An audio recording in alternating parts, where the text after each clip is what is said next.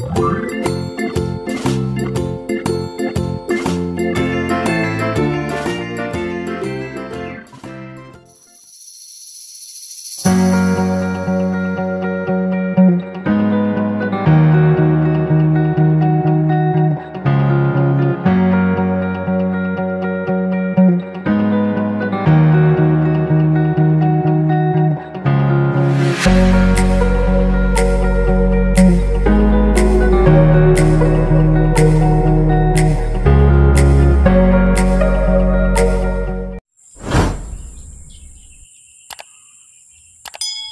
Hello po, good morning po mga kasimpleng buhay at magandang umaga po sa inyo. Ah, dito po ako ngayon sa aming mini farm. At ngayong araw po ay mag-harvest po ako ng saluyot dahil eh, matataas na po yung aking saluyot. Yan po, mahaba na po sila. Ito po yung pangatlong harvest ko na po sa saluyot. Po. At mahaba na po sila pwede na po silang harbisin. Pati po yung nandun sa kabila, pwede na rin pong harbisin. At kagaling ko lang po sa duty, eh, kakauwi ko lang po. At habang nagkakape po ako, at dumiretso po ako dito. At nadaanan ko po doon yung, yung dealer ng mga gulay, eh, eh sabi po nila, eh, magpitas daw ngayon dahil eh, bibiyahe daw po sila. Kaya sabi ko kay Ninang, doon sa Ninang namin sa kabila, eh, piptas nga daw po ng saluyot para maisabay na. Kasi yung saluyot po namin, sinasama po namin, sinasabay namin para isang anuhan lang, isang dalahan. Yan po at napaka taba po ng saluyot. Yan po. Mataba po siya. Pati yung doon po sa kabila, marami na rin pong usbong, marami ng talbos. Yan po yung sa talbos kamuti naman po. Yan. Ah, bali sa sunod na araw po eh, magdadamo po ako dyan. Mm, Dahil eh, tatlong araw po lang po eh, nung simula nung nagsabog ako ng, o naglagay ako ng urea dyan. Ah, siguro mga sunod na linggo pa, mga biyernes po ako maglalagay ng urea pagkatapos na madamuhan. Ah, at pati yung tanim kong sitaw doon, pwede na pong lagyan ng triple 14 para gumanda yung ano, para tumibay yung dahon, ay yung ugat.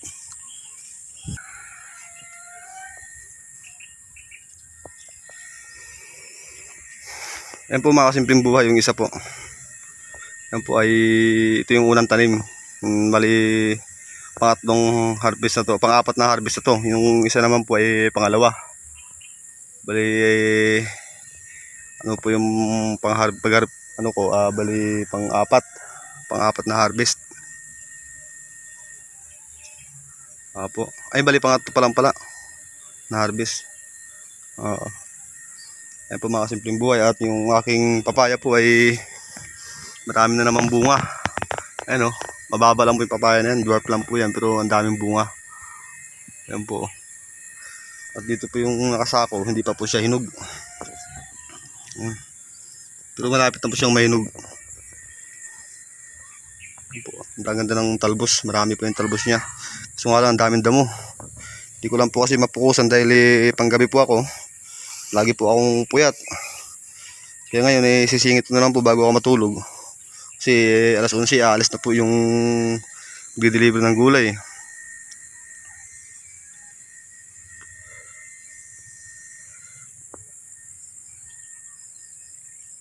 Ayan po mga simpleng buhay at sisimulan ko na po yung pag-harvest.